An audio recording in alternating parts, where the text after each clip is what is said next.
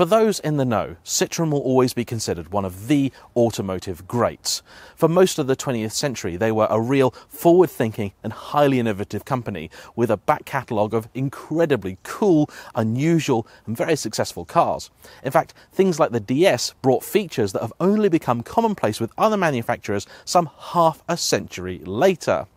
But thanks to a series of unfortunate events, as the millennium came and went, they have become increasingly simply a badge engineering exercise for Peugeot, and that really is a tragic fate for a once brilliant firm. However, if you look closely, you will still find in the modern era a few examples of Citroën being Citroën and doing what only they could. One such example of that is the C6. Originally intended to be launched in 2000 as a replacement for the aging XM, it actually only made its way into showrooms about five years later. Now, because this was supposed to be a rival for upmarket German cars like the BMW 5 Series, the range of engines on offer was actually pretty hefty by French car standards. You had only one four cylinder to choose from, a 2.2 litre diesel. Then there were three V6s a 2.7 litre diesel, as you have here, mated to a six speed automatic gearbox, a 3 litre diesel, and a 3 litre V6 petrol, which is reasonably rare but also one of the most desirable of the C6 range. In spite of this, the car was never really designed to be that much of a performer. Instead, it was meant to offer comfortable transport for those who wanted something a little bit different. The styling certainly would say that too. I've never been sure this is really much of a looker. The lights at the front seem a little bit weird, as do those at the back. And this rear sort of sloping fastback thing just doesn't quite work for me. Uh, apparently, the rear window is sort of self cleaning somehow, but the major feature, as with Citroens of old, is the suspension. It has what they called Hydractive 3 Plus. You also have double wishbones, front and rear, which is actually pretty rare to see in this sort of market segment. Now, I have been forewarned, this car has recently been on a trip to Scotland, where it attempted to keep up with George in his Nissan Skyline R34, and it has suffered a little bit because of that. Uh, that being said, though, I am still expecting a very plush ride out of the oddball Citroen. Inside, the Citroen certainly does feel plush, at least by the standard of early naughty Citroens. This weird material here will be familiar to anyone that's driven a C4 of the same time, but there is plenty of real leather. You also get a pair of screens which form your dash and infotainment system, which was never a given for a car from this time everything does look actually reasonably decent and it's also worn the years pretty well. Uh, there's a few really cool, very classically French features, my favourite being the door bins. I love that. Technology on offer was also pretty high too. It was the first car ever to get four stars for pedestrian safety in the Euro NCAP test because it has airbags in the bonnet to raise it in the event of an accident. This particular car also has heads up display, which was standard, a sat nav, which was not.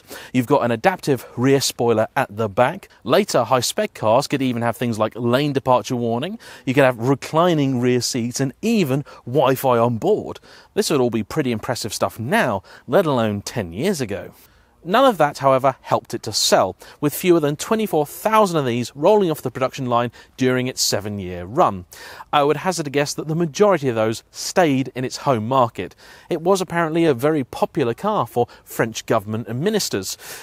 Beyond that, though, I don't think many people actually were convinced. And that's a real shame because it's a car that should have a lot of promise.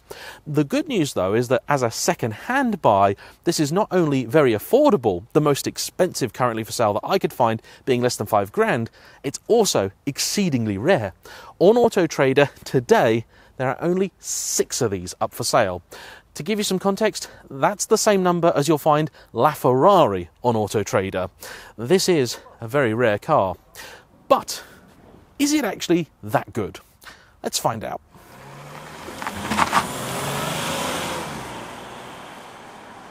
It is very weird lifting the bonnet on a car as modern as this and seeing the little suspension fluid balls that are a very obvious evolution of those you'd find in the old DS or the SM or all that sort of stuff. Now, I've started this review today at a car park with, as you can probably tell, the worst paved entrance you can imagine. In fact, it's not paved at all. It's, it's a dirt track with some massive dinosaur footprints on it. And actually, it's a pretty good test of this car. Now, I've perhaps been even a little harsh on it, or you could say extremely fair, because I've come down here today in a brand new Audi S8, and that is a very comfortable car, too that uses all sorts of modern, clever road scanning technology to achieve its levels of comfort. This is actually a relatively mechanical solution by comparison, but is it an inferior one? Let's see, shall we?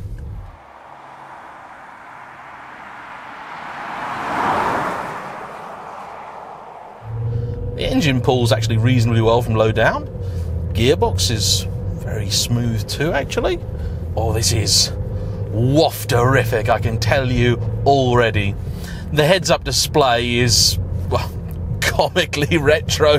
It's like an old calculator or a microwave oven. It's sort of typical green digits. And this evidently isn't a car which is meant to be thrown down these kind of roads. Uh, no, siree. But you know what? It's lovely. Absolutely fabulous. Driving position is actually pretty good you still feel fairly elevated even with the car in its lowest setting or its lowest permissible at this speed setting. The engine is a, a, touch on the gruff side.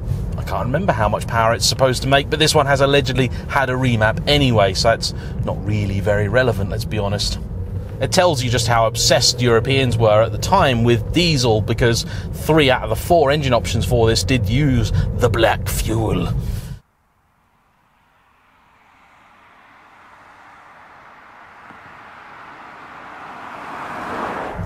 You know what? Actually, this engine really does suit the character of this car. It pulls nicely from low down. Now, it's over these real imperfections, manhole covers, and so on and so forth. This is actually, it's actually a little. There's a little edge of harshness there. There's a little bit of crashiness.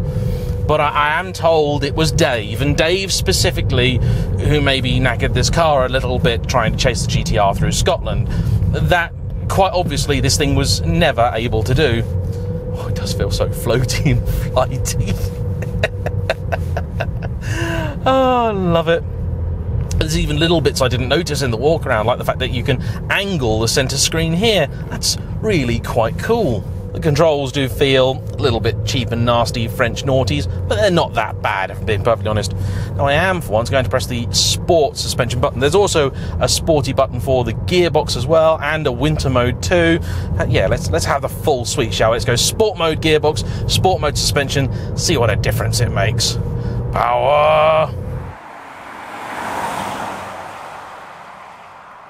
Mm, still very floaty, still very flighty, still feel like every time I go over a crest that it's just gonna keep going like a golf ball on the moon smacked by Tiger Woods.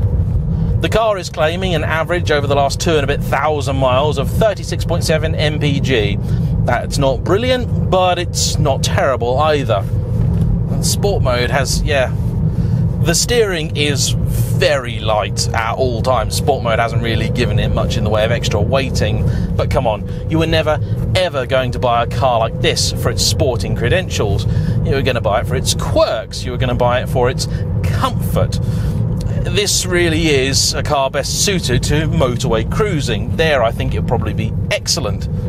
It is going to be given a refresh and overhaul of the suspension over the next few months. All the little pieces which will perish and fail over time are, are going to be replaced or upgraded as need be, and I'm sure that will result in a somewhat improved car. But even still, as it is, this really is the height of quirky Frenchness.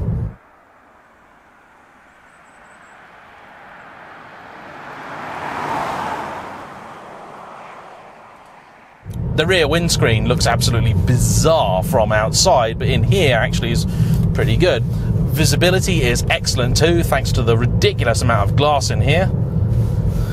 Though these wing mirrors do look oddly small, they just look like they weren't meant to be here. They look like they're from an entirely different car.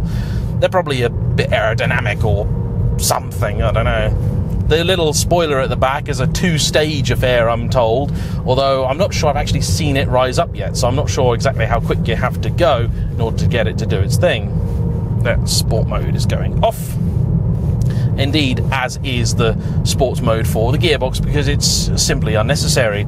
A nice big diesel engine like this has plenty of pull from low down, so there's no need to let it rev, and it's just not helping anything. Yeah, indeed, you put your foot down, the car will sort of surge forward a bit, and it's so bizarre. Such a weird car. It's turning circle like. Tragic. Oh, there are parking sensors. Front and rear parking sensors. Foot flat to the floor. What's she got? Nothing. Nothing at all.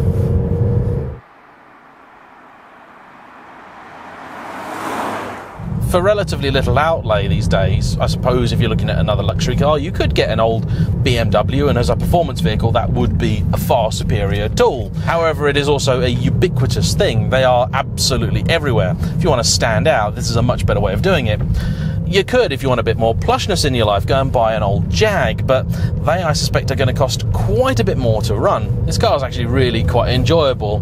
You adopt a certain pace with it very early on, and that's what in most cars would be about five tenths really, and it's very very happy doing that and no more. You try and push it and it will just wash a bit wide and just get generally very unhappy with you. Brakes are absolutely fine, the controls are all pretty decent. The auto gearbox, actually, normally in a car of this generation, I would hate, but it suits the character of this and it's certainly smooth enough. I have no real issues with it. You've got plenty of space in here. I've got loads of headroom. Despite the fact it's not a long wheelbase luxury car, there is loads of legroom in the back, and the boot is also pretty generously sized as well, meaning this is an excellent car to take on journeys away, trips to the continent, all that sort of stuff. It doesn't actually shake or rattle that much either. It actually seems pretty well screwed together. It's little things I think that would annoy people, stuff like the indicator stalks here. They're exactly the same on the Citroen C4 that my mother had about 15 years ago they feel just a little bit cheap and light and, and nasty, and, and that's a shame because actually this does seem to be a fairly well engineered car. Infotainment down here is also very much of the period with a million different buttons, and none of them particularly logically laid out. But you know what? It's a decent car. It is quirky, it is weird, it is French. It may not be quite as advanced and dramatically different as some of its ancestors, but I would say that if you're the sort of person that's always lusted after a DS or even an SM, but you need something a little bit more modern and daily drivable, I think this really would make you proud because I can certainly feel the lineage in here. Anyway, that's enough from me. Hope you've enjoyed this brief little look at a very unusual Citroen. Please like, comment below, subscribe if you haven't already, and I'll see you all for the next one. Bye bye.